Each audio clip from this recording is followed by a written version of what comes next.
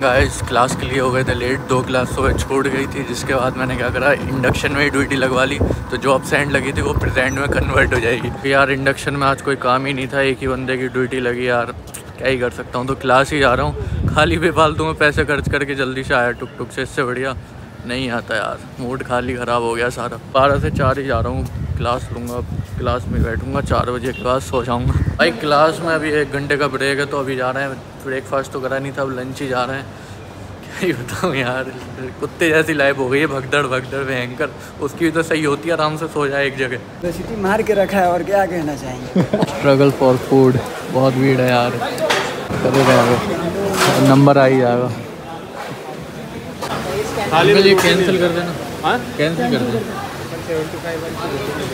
और कुछ लेना बहन का शर्ट भी खराब हो गई माँ बहन हो गई शर्ट की। शर्ट में लाइट कलर की थी? भाई खाना भी नहीं मिला यार समोसा खाना पड़ रहा है। क्या बताऊँ बाहर रहने का बस यही है घर से दूर रहने का अंजाम।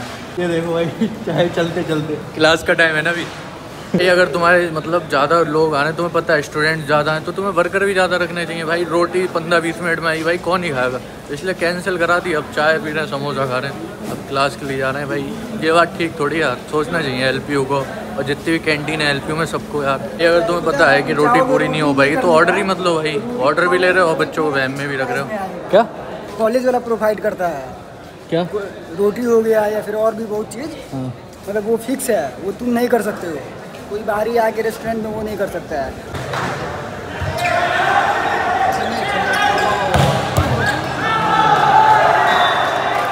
क्लास हो गई ओवर और अभी वॉलीबॉल मैच देखने लगा था, थोड़ा टाइम बचा था ना। तो यार क्लास में आज सी था। सी मतलब कंटिन्यू असेसमेंट वेटेज लगता है थोड़ा उसका एंड में पूरे रिज़ल्ट में वेटेज लगता है। तो यार वो हो रहा था तो मैं यार उठ के दूसरी सीट पे बैठ गया। तो एक बंदा मुझसे कहता है कि, यहाँ क्यों बैठ रहे हो? सारे यहीं बैठ जाओ।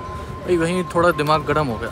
नहीं भाई, मैं क्यों आग बच रही है? मैं कहीं बैठूँ पूरी क्लास में। यार भूख लग रही है, अकेले दूध ले लेंगे। यार तो हैंकर कुछ मिला ही नहीं तो वही पता है क्या ही हुआ आज। आज के अब तो डेली का रूटीन हो गया है सेम नॉर्मली मैं शांत रहता हूँ बट कोई सामने से उंगली करे तो क्लास लेने के बाद इतनी टायर्ड हो जाता है ना शरीर क्या ही बताऊँ यार नींद ही लगती है। सॉफ्ट स्किल्स वाली मैम मुझसे कहती है वॉट वॉज़ योर स्ट्रेंथ तो मैं कहता हूँ सेल्फ कॉन्फिडेंस तो क्या फॉर एग्ज़ाम्पल मैं कहा I will blogs in public तो कहते हैं that was not your strength मैं कहा ओके भाई, बहसबाजी कौन ही करे?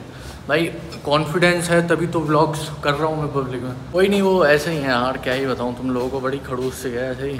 बच्चों पे बस हड़क मतलब ये कहती हूँ हाँ मैं ही सुपीरियर हूँ। पूरे दिन खाना ना मिलने के कारण अब जा रहे हैं रात को खाना खाने। भाई भी मिल गया, भाई की भी तबीयत खराब है। कल से पड़ा है बिस्तर पर क्या ही बताएँ यार, क्या ही चल रहा है, पता नहीं, यहाँ आके हाँ? घर वाले कह रहे घर आ जाओ। अटेंडेंस से पाँच परसेंट तुमको क्या बताया क्या बताऊँ अब पहले उस दिन थी कितनी? दस। अब हो गई पाँच। कुछ दिन बाद, भाई ऐसे ऐसे लोग पढ़े ना, पिछले ईयर साथ में रहे, सब कुछ साथ में, खाना, पीना सब साथ में। कॉलेज में लाइफ मतलब तुम्हें सब बताएगी धीरे धीरे कैसे कैसे लोग पढ़े भाई आज बंदा आ रहा है दो लड़कियों के साथ और बात तक नहीं कर रहा यार, ये तो देखो। भाई, आज की मज़े की बात बताऊँ सी ए चल रहा था, फिर मैम आती मेरे पास, और जैसे डबल शीट हो तो स्टेपल भी करो। मैम कहती स्टेपल मेरे पास सिंगल शीट अब मैं कुछ नहीं बोला, मैं कहा शीट पकड़ी हाथ में मैम मुझे देख के फिर लिपसिंग में लिपसिंग करके कुछ बोला।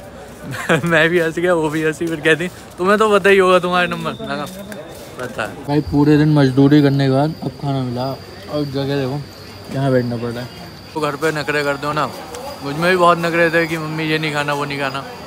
सब निकल गए बाहर आके। अब एक टाइम में एक ही बार मिल रहा है। सारे नखरे निकल गए। पेट में अब खाना गया तो थोड़ा सुकून मिला है। अब सही लग रहा है? थोड़ा थोड़ा। कल क्लासेस के बाद जाऊँगा यार एक कम्युनिटी प्रोग्राम करना है वो करूँगा। और एक काम और है या तो बाहर रुक जाऊँगा दोस्त के रूम पर और लैपटॉप भी ठीक कराना दो चार काम है वो सारे कल करा लेंगे।